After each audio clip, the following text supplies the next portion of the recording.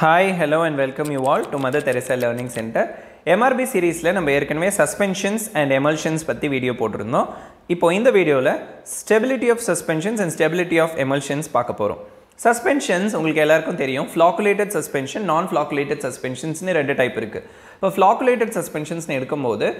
நம்ம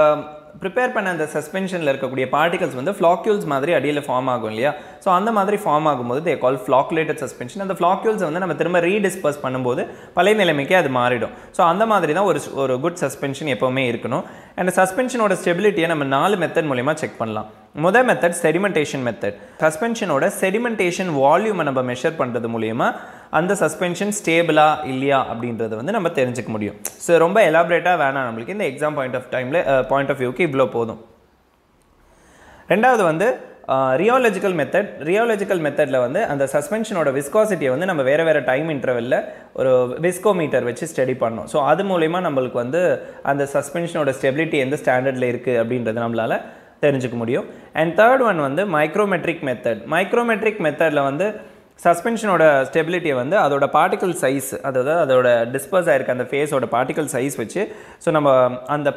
completely only by the particle size அந்த நேச் time ஆக ஆக பார்ட்டிகல் சைஸ் எப்படி க்ரோ ஆகுது அப்படின்ற லம்ப் எவ்வளோ நேரத்தில் ஃபார்ம் ஆகுது கேக்கிங் ஃபார்ம் ஆகுதா இல்லையா? ஸோ அந்த மாதிரி பார்ட்டிகல் சைஸ் ஒரு வேளை சேஞ்ச் ஆச்சு with respect to the time அப்படி சேஞ்ச் ஆச்சு அப்படின்னா சஸ்பென்ஷனோட ஸ்டெபிலிட்டியில் தெர் இஸ் அ ப்ராப்ளம் அப்படி சொல்லி we can come to a conclusion and electrokinetic மெத்தடில் வந்து யூ ஹவ் டு டிட்டர்மைன் இந்த surface electric charge or zeta potential அந்த சஸ்பென்ஷனோட ஜீட்டா பொட்டன்ஷியலை இவால்வேட் பண்ணுறது மூலிமா நம்ம அந்த சஸ்பென்ஷன் ஸ்டேபிளா இல்லையா அப்படின்னு சொல்லி கண்டுபிடிக்க முடியும். This is what about the stability of suspension அடுத்து ஸ்டெபிலிட்டி ஆஃப் எமல்ஷன் எமல்ஷனை ஸ்டோர் பண்ணி வைக்கும்போது there are three possible changes happening in an emulsion முதல் வந்து கிராக்கிங் ரெண்டாவது க்ரீமிங் மூணாவது ஃபேஸ் இன்வர்ஷன் கிராக்கிங் அப்படின்னா என்னென்னா நம்ம ப்ரிப்பேர் பண்ண எமல்ஷன் வந்து ரெண்டு டிஃப்ரெண்ட் லேயர்ஸை செப்பரேட் ஆகிடும் ஸோ டிஸ்பர்ஸ்டு தனியாக அண்ட் கண்டினியூஸ் ஸ்பேஸ் தனியாக அந்த மாதிரி செப்பரேட் ஆகிடும் எதனால் அந்த மாதிரி ஆகிடும்னு பார்த்தீங்கன்னா நம்ம வந்து opposite type of emulsifying agent add பண்ணுறது மூலியமாகவோ இல்லை எமல்சிஃபைங் ஏஜென்ட் கீழே ப்ரெசிபிடேட் ஆகுறதுனாலையோ இல்லை காமன் சால்வெண்ட் ஏதாவது ஆட் பண்ணுறதுனாலையோ மைக்ரோ ஆர்கனிசம்னால இல்லை டெம்பரேச்சர் சேஞ்ச் அதனால இல்லை க்ரீமிங் நடக்கிறதுனால கிராக்கிங்கும் சேர்ந்து நடக்கும். And what is called creaming அப்படின்னு பார்த்தீங்கன்னா